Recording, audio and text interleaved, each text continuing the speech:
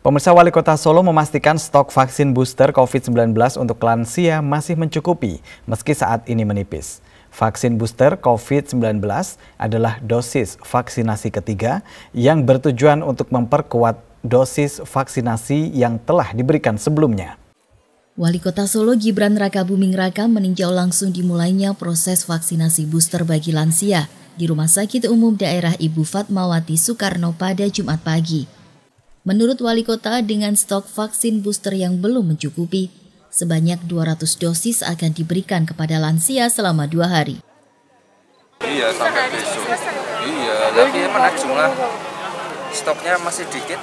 Nggak apa nanti minggu depan kita minta lagi untuk apa tambahannya ya. Tapi untuk besok sudah bisa tetap lanjut atau untuk hari ini aja dulu? Sabtu ini Jumat Sabtu ini. Jadi untuk dua hari aja? Oh, dua hari habis. Sementara menurut Kepala Dinas Kesehatan Kota Surakarta Siti Wahyuningsih, pihaknya telah mengajukan permintaan puluhan ribu dosis vaksin ke pusat.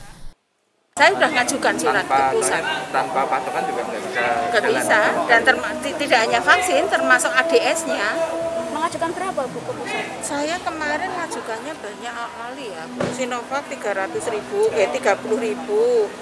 Moderna kelihatannya 20 ribu, hasil 20 ribu.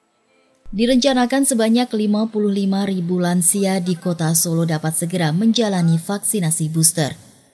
Dari Solo, Jawa Tengah, Muhammad Hasan, MTA TV.